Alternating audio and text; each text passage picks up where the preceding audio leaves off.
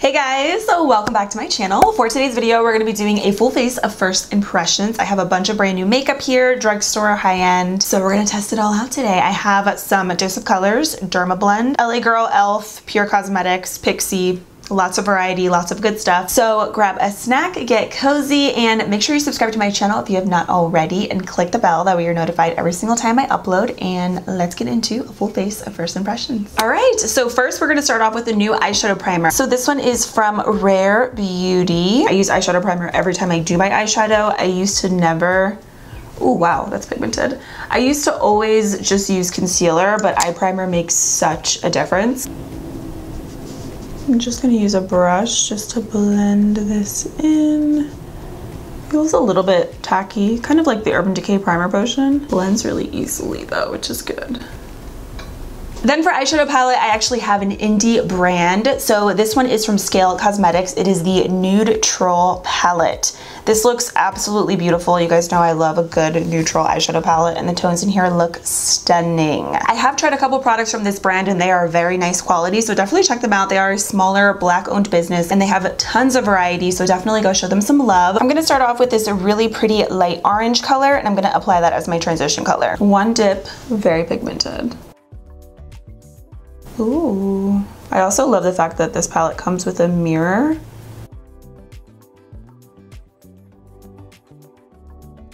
Okay, I definitely have leftover lash glue on my eyes. Cute. It's like clumped up. Ew. Then I'm gonna take this really pretty shimmery shade. It's like a really light bronzy color, definitely perfect for summer. And I'm gonna use the Crayon Case Flat Shader Brush that I love. And I'm just gonna dip in here and Ooh. So pigmented. This is pretty. Almost looks like a little bit of like a kind of duochrome shade. It's gorgeous. Okay, now I'm gonna spray my brush just so we can see how it looks sprayed. Still gives you a really pretty shimmery effect. The color in general, like the finish of it is not super intense. It just gives your lids like a really light sheen, but it's really pretty. It's a nice color. Next, I'm gonna go into this brown color right here and I'm gonna apply that on the outer crease just a little bit.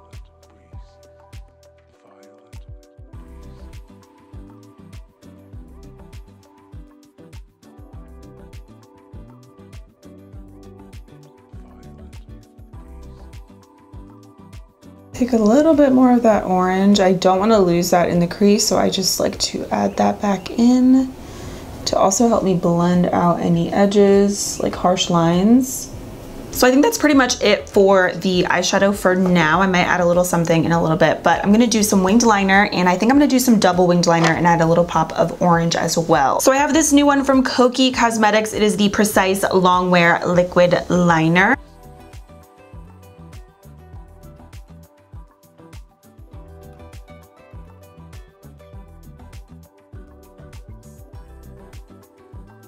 Um, okay, this is amazing. She's thick, by the way, the liner, but like what else is new? You already knew that was gonna happen, so. This is really nice though. It's super black, really easy to work with. All right, let's continue on and do a little pop of orange. So I'm gonna use this Electric Bold Liner from Profusion. This one's in the color Psych. Ooh, this is like neon. Oh, this is cute actually. Really cute. Okay. So what I'm gonna do is basically just line right over top of where I just did the black winged liner. I'm just gonna do a thin line of the orange just for a little pop.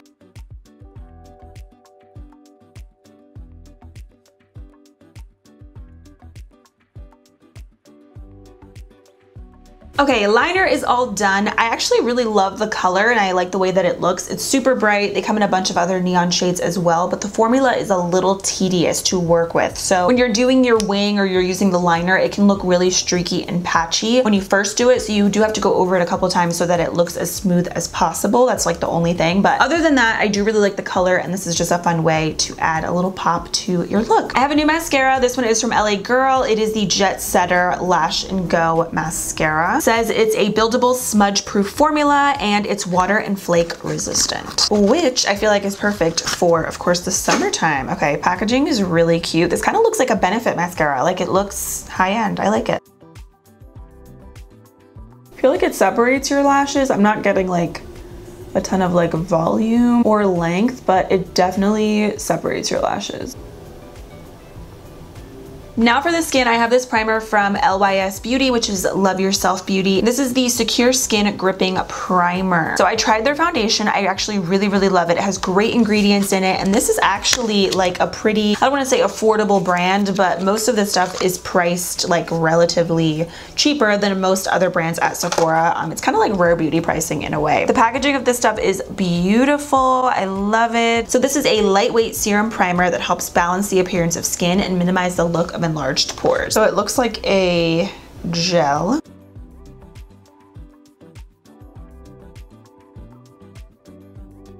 And it does feel a little bit sticky too, which I like because then your makeup will grip onto it and last all day, which is like the goal. Feels nice though, definitely goes on like a serum. The finish of it is kind of uh, a little bit more tacky, but it melts into the skin and blends in really easily. For a foundation, I actually have a CC cream. This one is from Dermablend. It is the Continuous Correction Full Coverage CC cream. It has SPF 50 in it. This is supposed to be a weightless, breathable formula that gives you full coverage and up to 24 hour color wear that stays comfortable and true. So that's a pretty big claim. And I picked up the shade medium one if you're wondering. So let's see how this looks. Let's see if it's actually full coverage. So I'm gonna use a brush first.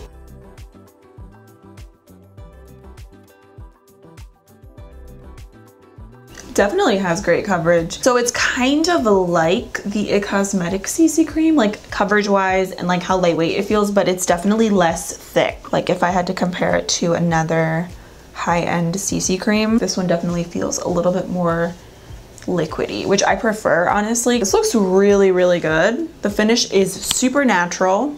So far, so good with that. I'll let you guys know how this makeup does wear throughout the day and I'll keep you guys updated, but so far I'm loving it. I really love everything that I used today so far. Now let's do concealer. So I got this one from Pur Cosmetics. I picked this up like literally weeks ago, probably months ago at this point, and I honestly forgot about it. It was at the bottom of my little makeup drawer with all my new products. So I want to test it out today because I have tried out their foundation and I do like it. It is the Pur Cosmetics 4-in-1 Sculpting Concealer. And this one I have in the shade LN6. Oh, the packaging is interesting. So there's like a little button that you push to take it out and then you pop it back in and it just clicks. Ooh, and the applicator is nice. It's flat. So this concealer says it's ideal for all skin type. It's medium to full coverage, which I agree with. And it says it blends out seamlessly. Also agree. This sponge, by the way, is from Flutter and Love. It is so soft and super, super bouncy. This formula is a little bit thicker, but it has nice coverage. Okay, I have a new cream blush. How cute is this package from Pixi? So this is the On The Glow Tinted Moisture Blush Stick. This is what the package looks like. Which one do you guys think I'm gonna go in with? I'll give you some time to think about it. I know, this one. Duh. But the other colors do look really pretty. We have Fleur and Ruby. Oh, that's such a cute name, Ruby. Um, but the color that I'm gonna go in with is Juicy. I love that. So it kind of looks like a little deodorant, but it's cute. Let's swatch it. Pretty. And I'm gonna use my Real Techniques medium sculpting brush. Just from the back of my hand, I'm gonna just use that product up. Okay, let's build that up. I'm just gonna dip directly into the little stick.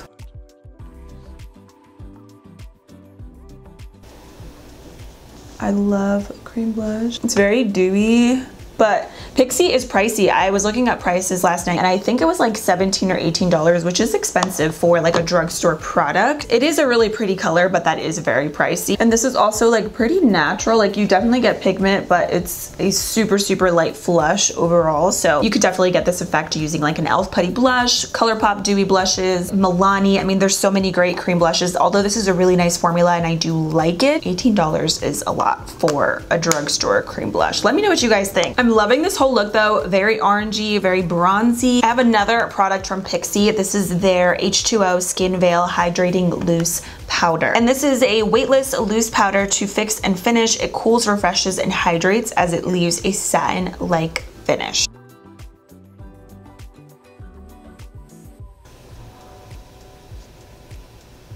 It's a little bit drying on the skin.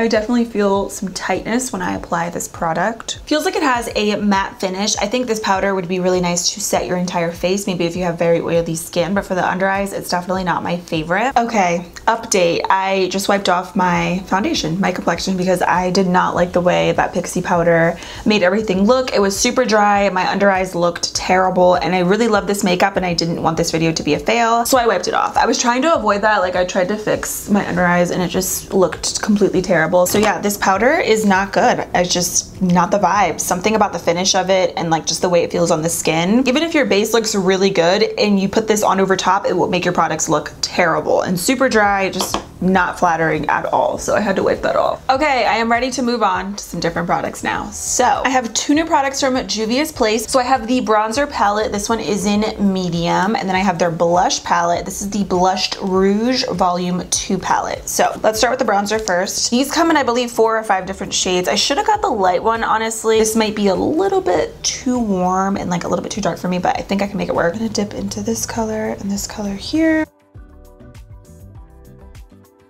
And just warm up the skin. Ooh, that looks really, really good.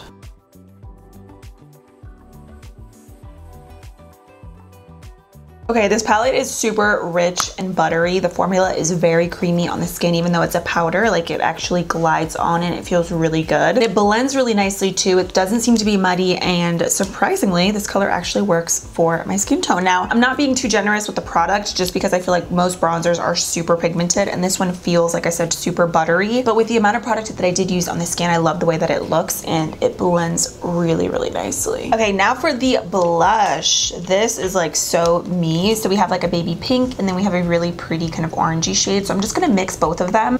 That's the color. Ooh, definitely super bright, but it's pretty. Okay, we have to blend this out, girl. This is, uh, this is a lot. It's intense, but it's very, very pretty. I love the colors in here. They have another palette that is a little bit darker. I do feel like this could work with different skin tones. Just be mindful of how much you're using because clearly it's very pigmented, but it's a beautiful formula. I like this and the bronzer a lot actually, and like the packaging and everything, super cute. Okay, for highlighter, I have this one from e.l.f. and this is actually from their Jelly Pop collection, which they did bring back again for the summertime. So this is the Glow Stick in Melon Aire. So it's kind of like a cream highlighter and I'm just gonna put it over top of this just to see how it looks. Oh, it smells good good. It smells like Jolly Ranchers. Mmm, I'm just gonna use my fingers.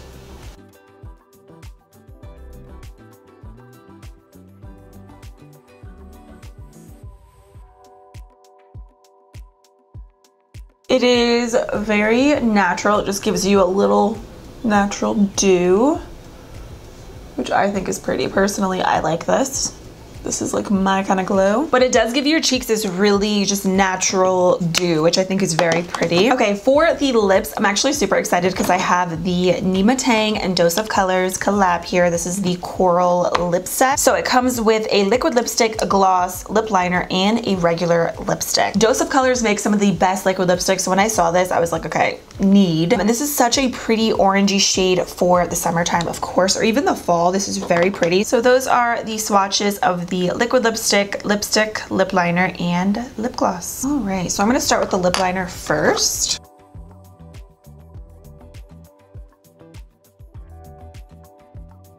So I've tried Dose of Colors liquid lipsticks. Like I said, they make some of my favorite ones. So I'm actually gonna try the lipstick because I've never tried a Dose of Colors lipstick.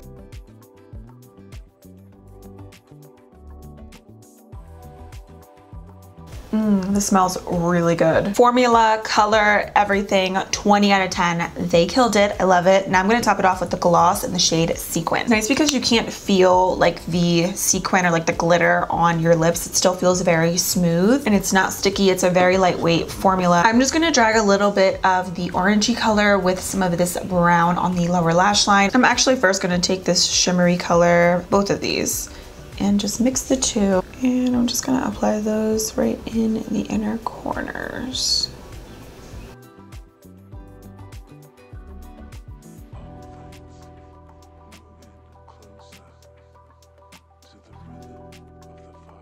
and I'm just gonna line my waterline with a brown liner. This one is new from NYX. It's the Epic Wear Liner Stick in Deepest Brown.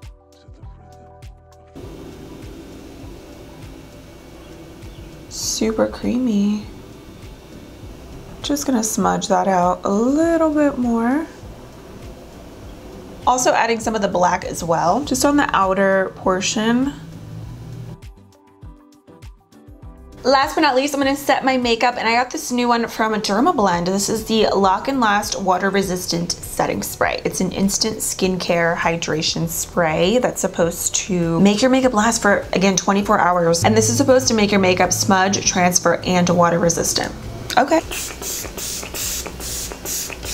So that officially completes this full face of first impressions. I love this look. I know it's kind of like bold in your face, especially with the lip color and the orange liner, but I am living. And I'm living for a lot of these products as well. I pretty much love, I would say like 90% of the stuff that I used. So let's chat about everything. Okay, first Things that I'm not crazy about. I think you guys already know this powder from Pixi is terrible. I feel like it almost made my face look chalky and dry and it took away coverage on my under eye area. So that's why I ended up wiping everything off because I couldn't save the complexion with this powder. It completely ruined everything and uh, it's $24. So definitely not worth it. The On The Glow blush from Pixi is very pretty and it gives you the most natural wash of color, but it's expensive. This is $18 and I think you can get that same effect with other cream blushes at the drugstore that are like $10 and under. It's a nice formula, but I think for what it is, it is definitely pricey. The concealer from Pur Cosmetics is okay. I'm not loving it. I'm not hating it. I'm kind of like right in the middle. I'll definitely keep using it. I've tried better, but I've also tried worse. So I'm like on the fence. Everything else I'm in love with. I love the eyeshadow palette. This is stunning. You guys need this. If you're into neutrals, this is a beautiful palette, great formulas, great colors. I'm actually loving the Profusion liner. I think it looks a lot better now than in the beginning. You definitely have to work with it. The formula is a little tricky, but once you get it and you layer it, I think it looks beautiful. It doesn't look like it's like cracking or anything, which is really nice and impressive considering the fact that I did layer this quite a few times to try to get it to be as smooth and crisp as possible. And I think it looks really good now. So I'm actually loving these, especially for the price. I also love the Kokie liquid liner. This is amazing. It is so black, so easy to work with. The Dermablend CC cream, incredible. I love how lightweight it is. It's a lot creamier than I expected and it looks really good on the skin. The color is also on point. I love these Juvia's Place palettes. These are beautiful. I love the tones in here and the formula is great. The LYS primer feels really nice so far. I'll let you guys know how this makeup wears throughout the day. I'll keep you guys updated in the description box or throughout the video. The setting spray is nice. It has a very light mist. I do feel like it's something that I'm gonna have to keep using to see if it's actually like 24 hour wear, water resistant, transfer proof, that kind of thing, but it felt nice on the skin. And I feel like it gave my skin a very kind of natural dew. The lip product, they killed it. Congratulations to Nyma. I love the shades. The formula is incredible. I also love the Rare Beauty eyeshadow primer. This was really nice, blended in really easily. So yeah, overall, I love this look. Love the products that I used for the most part. So if you guys have tried any of these, let me know your thoughts. And if there's anything else you guys want me to test out, let me know down below in the comments. Thank you all so much for watching and for hanging out with me today. I hope you enjoyed this video and I will see you very soon in my next one. Bye.